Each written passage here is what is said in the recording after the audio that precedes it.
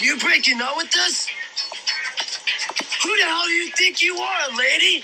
You can't just go around breaking people's hearts like that. I fell in love with you. We fell in love with you. Guys like us just don't follow the fucking sky, you know?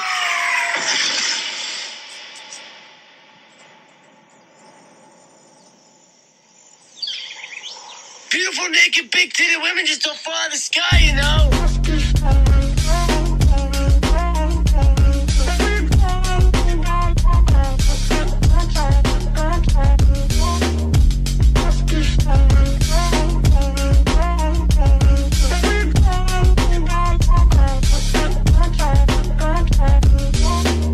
Come to this place for magic. We come to AMC theaters to laugh, to cry, to care, because we need that. We need that. Because we need that. Because we need that. All of us. That indescribable feeling you get when the lights begin to dim and we go somewhere we've never been before. Not just entertained, but somehow reborn together. Dazzling images on a huge silver screen, sound that I can feel. Somehow, heartbreak feels good in a place like this. Yeah, I. Uh, I heard a okay, beep. It just.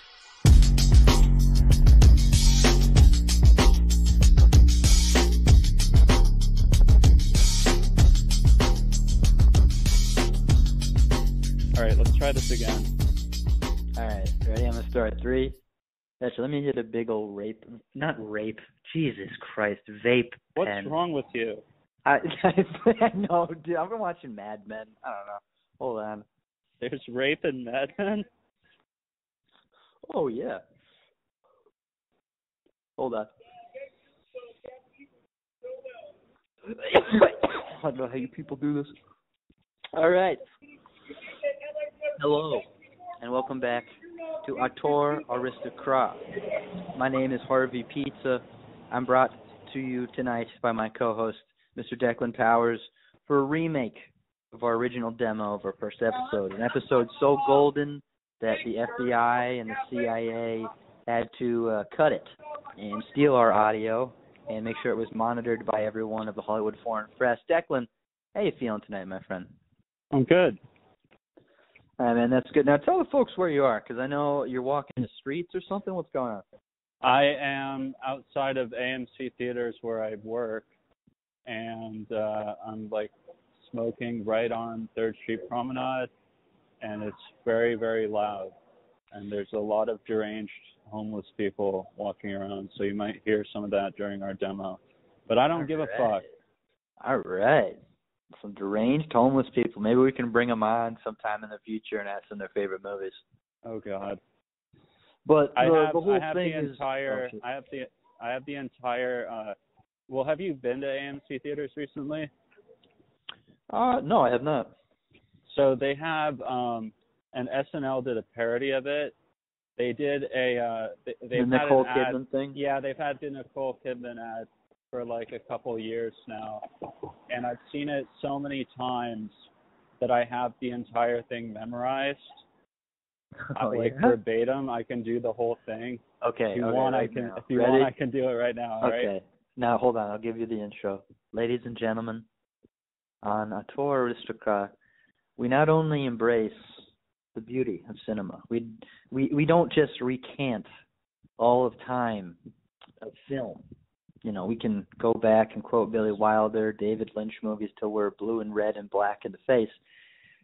Tonight, Declan Powers, a man that works for AMC and AMC theaters, will be reciting the entire commercial that Nicole Kidman did that scares the shit out of me. Declan, take it away, Stepford wife.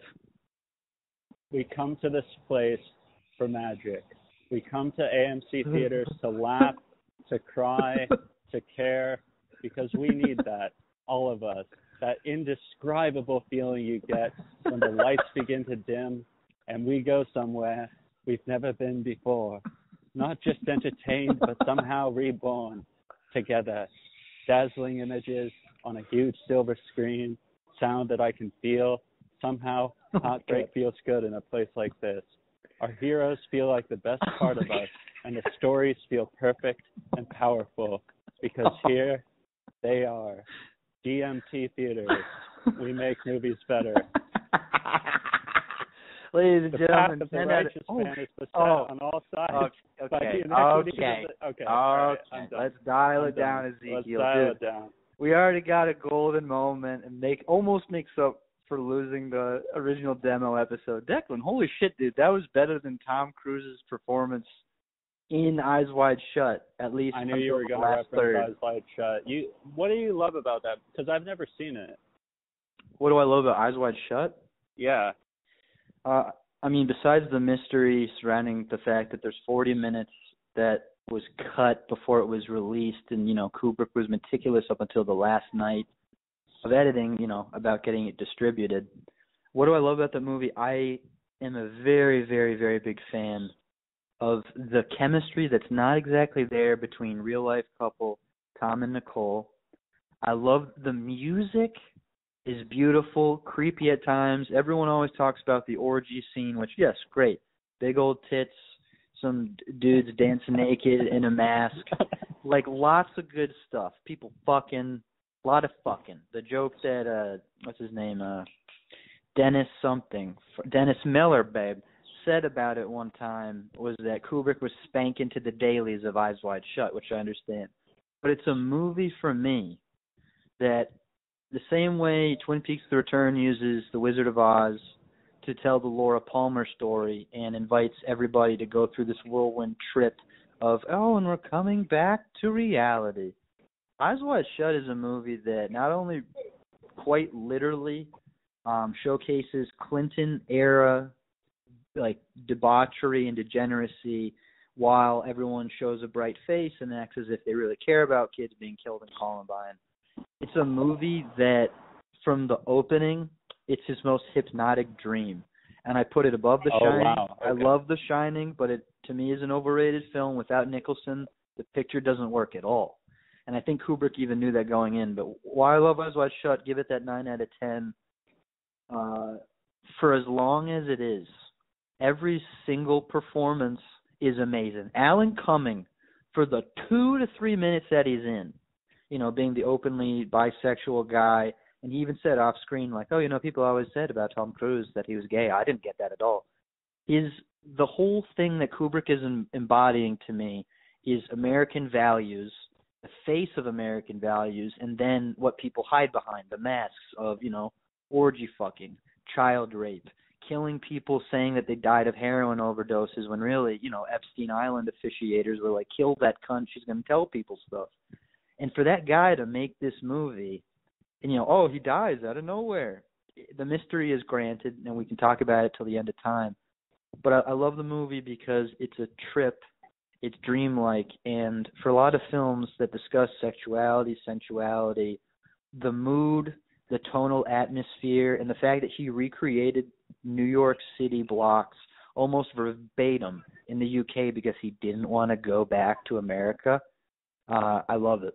And it shows the power of what a filmmaker can do at like a Paul Thomas Anderson level that he is now.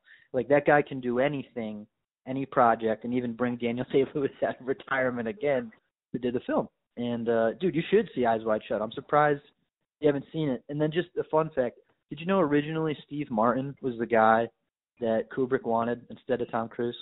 Really? Okay. Yeah, I didn't how know fucking that. rat. That would have been how- weird. that's the thing is like it would have been the best thing ever and it would have changed the whole career trajectory of what Martin was doing. He did this movie years ago called Pennies from Heaven, which is one of my favorite movies ever. Bernadette Peters, Bob Hoskins and him. It's a musical. It's got murder, mafioso stuff. It's great. Detective gangster picture.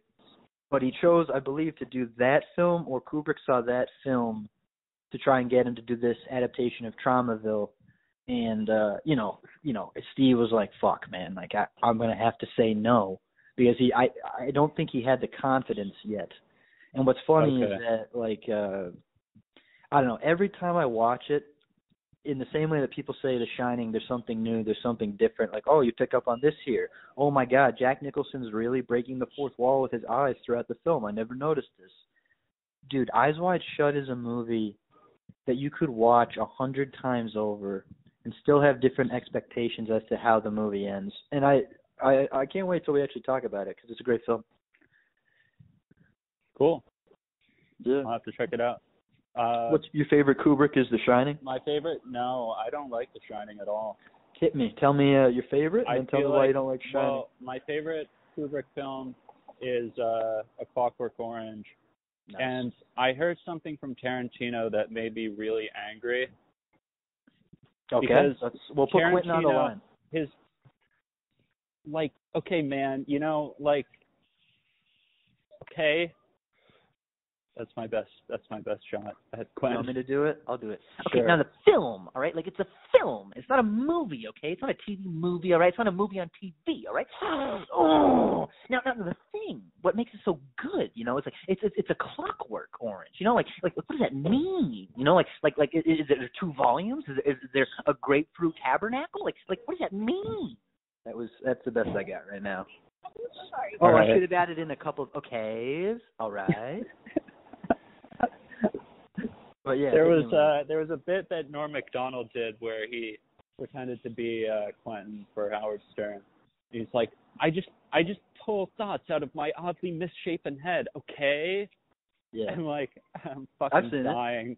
Yeah. Dude, anyway, Norm's a legend. my favorite my favorite Kubrick film is A Clockwork Orange because of the ambiguity of the ending that I think a lot of people don't talk about, which is was uh it's Alex DeLarge is his name, right? hmm Absolutely. Yeah. Uh great character name by the way. Um hmm I did it. I named him. if oh you did. Okay. That was me. I wrote the book. um, is the ambiguity of the ending. You don't know for certain whether or not Alex has actually been rehabilitated. And then on top of that, even if he has been re- rehabilitated, he's been rehabilitated by this this awful authoritarian government where it's like hmm is it actually better for society that he's quote unquote rehabilitated Yep. and uh I love that about about the film.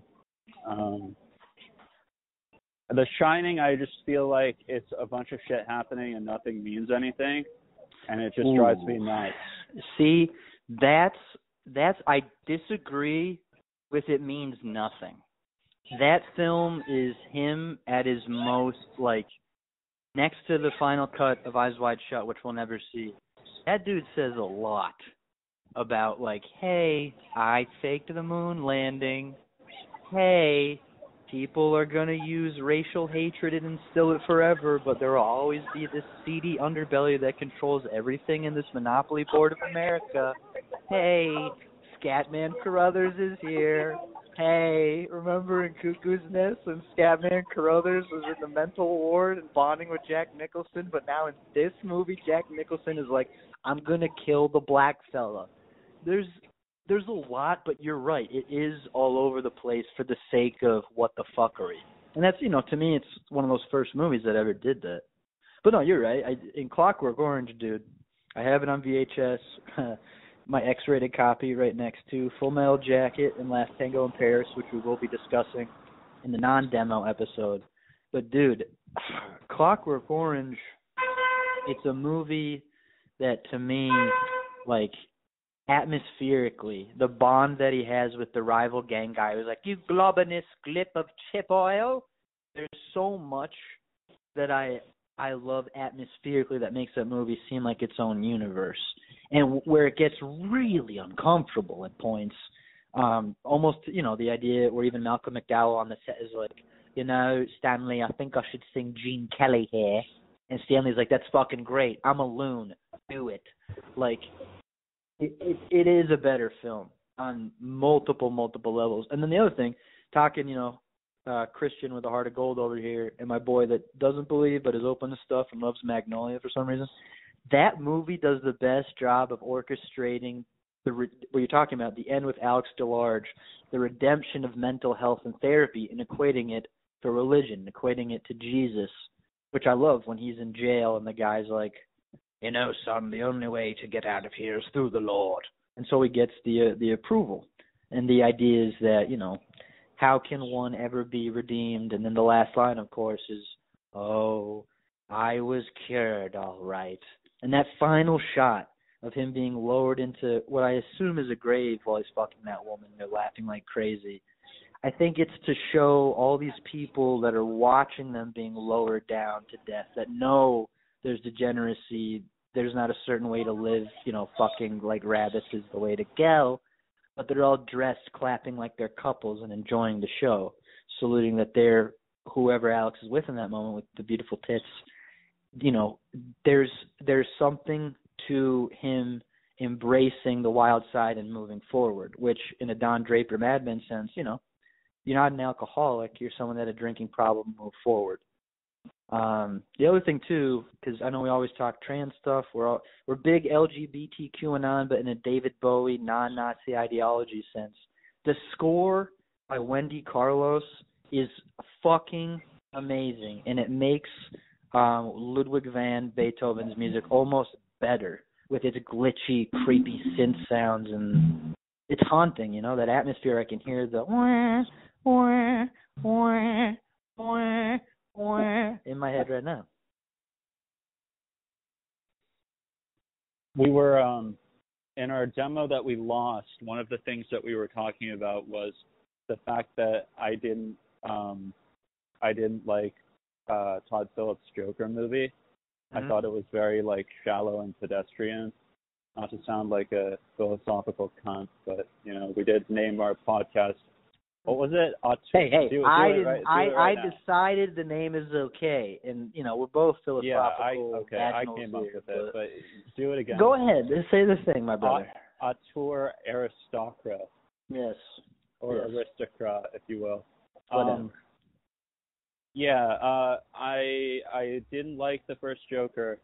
Uh, I thought it was very shallow, but I am very excited for Joker Poulet Adieu with uh, Lady Gaga, and we were talking about the idea that um, they modeled Lady Gaga's uh, makeup off of Courtney Love because she has the the black diamond eyes um, with like I guess mascara tears running down or whatever, and it felt Yeah. very. And then also like for trivia, so Batman and Robin bombed at the box office, and it was like the final nail in the Joel Schumacher coffin. Batman Forever actually did pretty well. Um, Yeah, and Jim there's Carrey. A, there, yeah, and there's a cut of the film that uh, Kevin Smith has. Um, that's like a director's cut. That's like a darker vision that was intended to be what the movie would be. So like Schumacher actually wanted to make a genuine film with that, and then Batman and Robin, it was just like the studio con job.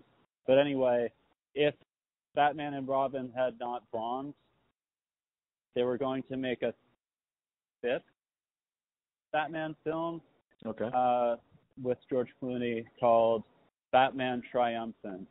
And they were going to resurrect Jack Nicholson's Joker, who dies in the 1989 Batman.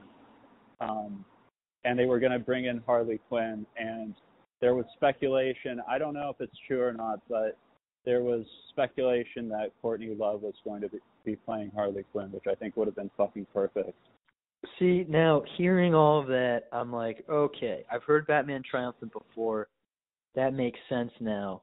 And going off of the Joker 2 Fu- Fudu Fa Fa, whatever the fuck Flight of the Conchords reference, like, yeah, I can understand that being the basis because what we talked about was that it's going to be Joaquin Phoenix, Arthur, Joker, kind of marinating in the successes of becoming this overnight sensation for murder and that maybe he's going to have struggles with addiction, drinking, pills, kind of bring in that River Phoenix metaphor with his brother, and with Courtney Love being the basis for what they're going for. I don't doubt you, Declan, because we have a, a sixth sense with this Shyamalanian film trivia bullshit. Uh, I think you're right. She's going to have to get abused and used and go from the apple of Mr. J's eye to the spilled cup of coffee in the morning that he pisses on. And the only thing I have to say, going off of all of this, is that you don't like, you don't dislike Joker. The whole thing that we realize is that you dis, you say you dislike Joker because you are Joker. It's a film that speaks tremendous volumes. What volumes does it speak, man? Hey, man. I don't know. I don't know. Let me because ask the this. scene where he shoots Murray Franklin is fucking god awful. No, it's, it's like not. it's a yes, it is. It's a scene that everybody talks about as being like the the Joaquin Phoenix Joker, like what won him the Oscar. And I'm like, this is what won him the Oscar. It was dialogue that was written by an eight year old. What do you get when first you off, cross? First off, Yeah, yeah, yeah. yeah. Shakes- Shakespeare in Love won Best Picture. That's all I'm gonna say off of that tangent. Joker, dude, it's a movie that sure the dialogue might be all over the place, but it's at the at its core, it's a superhero film. And that part when it gets to the theater, you can't tell me. I've never seen anyone within the complex of talking about this film that was like, yeah, no, I was with him that time. Like when he's saying all that stuff, despite how you feel the mental illness and maybe he's off the rails, he's not treating people properly. You want him to shoot Travis Bickle in the head. I that's what I felt watching that movie. All right. I just think he Mhm. wouldn't he wouldn't deliver Okay, this is what pissed me off. He says they're like uh Robert De Niro's like, "Okay, so you're crazy. That's your excuse for killing those two men on the subway." And he goes, "No, they couldn't sing a tune to save their lives." And he's making a joke out of it, which is great. But why didn't he actually indict those kids by saying what they actually did?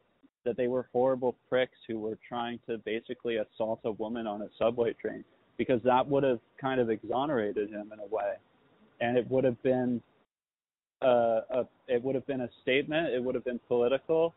I guess that's not what he was going for but like he could have actually i don't know said something about like oh yeah they were they were awful pricks and they tried to rape a woman on the subway you know, but he doesn't do that. He just says, I killed them because they were awful. Everyone is awful these days. It's enough to make anyone crazy. I'm like, fuck you. What a Yeah, but- wasted, what a yeah, but- wasted moment. But character-wise, you're telling me Arthur Fleck is going to be the voice of the post-Me Too movement, feminism? The guy finally gets onto the TV program he's wanted to in his his entire life. It's it's the Johnny Carson parallel, even with the curtains looking like his his set in the the the original show. He he doesn't have the coherency to start talking about women. The man He doesn't barely have has the a coherency relationship to do with anything, and that's what sucks about it. But that's He's not, not a true. funny comedian. That's not true because, in as we said in comedic terms in our demo, he literally kills. Where he tells these jokes in front of people, he doesn't get a lot of laughs. The joke is that this man goes on the Murray Franklin show, kills literally. The whole audience gets the hell out of there, and then he's like, and that's lo-, and then they cut to the thing. They do the network reference, panning back of watching all the news people take off about it, and that's the whole thing. It's it's not like Wait, are you saying that like you you would have wished that there was a more adult moment in this R-rated superhero film where Joker, a man that's known for a purple suit, beating the shit out of the only woman that loved him, he just starts going, and you know what, Murray?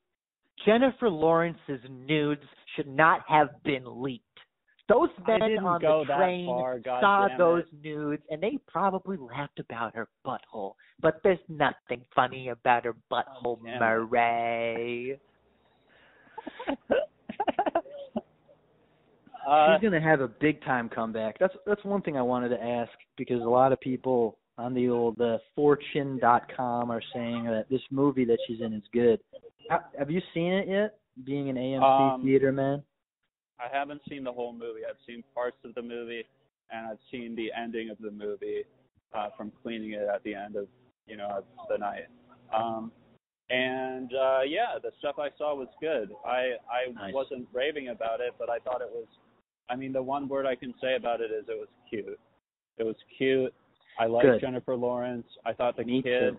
who plays the um the the shy awkward teenager did a great job he was he's a, a very like physically versatile actor where um his mannerisms are very like stiff and kind of like aloof and awkward and i thought that worked really well um but like do i have the motivation to see it in theaters i get to see movies for free and even i don't i'm not that interested. Well, yeah. Well, I don't know. The other thing, it already it's already exceeded the expectations they thought at the box office. The reason I bring it up is because It's doing better than the Flash right now. More people are anything is doing better than the Flash. Anything. Well, yeah, and good because that movie was terrible. yes, was, exactly. It was god awful. But does, from what you've seen in these cute clips, does it redeem Jennifer Lawrence and uh, your least favorite director, which maybe that'd be good for clearing up the end of this demo?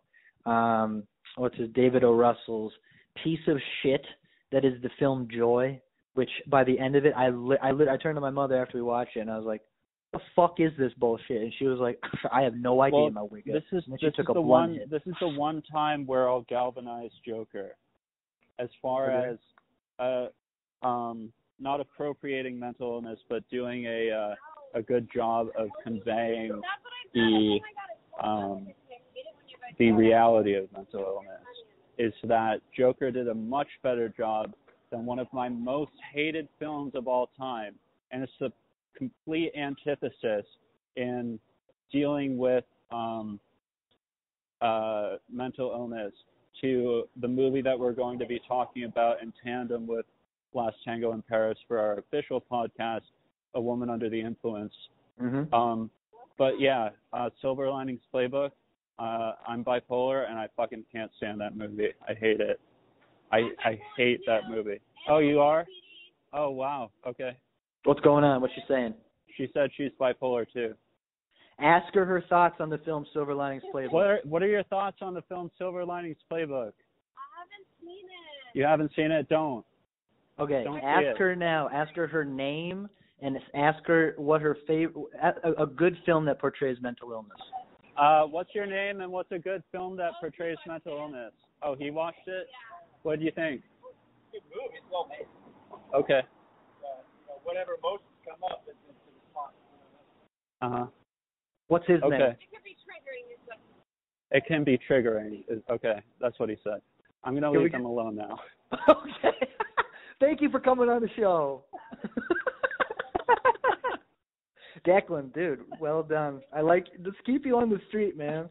This is good. I love that shit. Oh, I'm gonna Oh, leave man. them alone.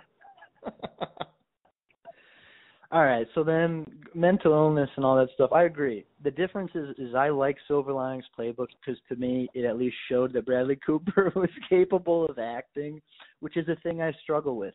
Except there's this other film, which you and I will end it here. American Hustle to me is a 10 out of 10, 5 out of 5, perfect film in the sense that where Joker is a meme movie masquerading as a serious superhero picture, it's actually a critique of film with fourth wall breaking narratives as well as mental illness relating to the Dark Knight Rises shooting, and we got Arthur Fleck shooting up Murray. American Hustle does the same thing for filmmaking. It's a movie completely made for award season and where I hate critics. I love my father, but I hate critics.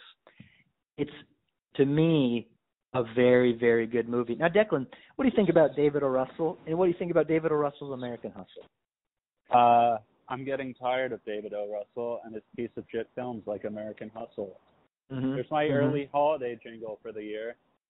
I liked it. Um, he he uh he did a movie with uh my friend. I'll keep him anonymous because he wants to remain anonymous for whatever reason. But he was telling me um he was telling me um he showed me a video of it's uh Dustin Hoffman in a car acting opposite two women for some movie that David O. Russell is making. I don't know the name of the movie and I don't care. But um they had to feed the actors their lines because they're giving this like 30 minute long monologue and they're shooting in one take and one of the women is like saying like this is impossible i can't do this you need to give us more time you need need to give us more um freedom as actors to be able to to pull this off. And uh like 10 or 15 minutes into this one shot take of two three fuckers in a car uh david o. Russell just turns to the woman and calls her a cunt to her face. And that uh, seems about right. and I well you you have a story about David O. Russell because you fucking met the guy and he was he was an Dude, asshole to you. I was. I- He's an yeah. asshole. He bullies his Okay. actors. Okay. and he's not a good director, and his I was- movies okay. suck. I disagree with he's not a good director. He's a good director. He's a horrible person. And with that in mind, okay? Thank you, Declan, for now I get to do my cool thing. You got to talk to that lovely couple on the street. Okay, so the year, folks, is 2013, 2012. All right, the movie that's released is American Hustle. My father is a film critic. He gets invited to go to the awards.